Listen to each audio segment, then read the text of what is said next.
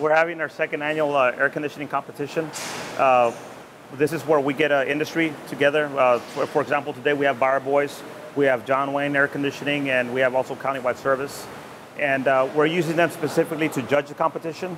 Uh, the way I like to look at it is, um, is part of the interview process, if you will.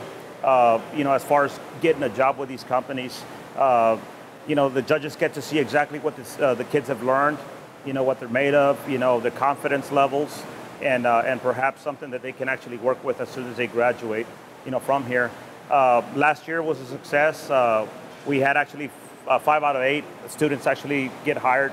Uh, uh, four of them got hired by Beyer, Beyer Boys Air Conditioning. So, and I guess you could say this is one of the ways for them to, you know, transition right into the, the actual career that they wanted, that they chose to do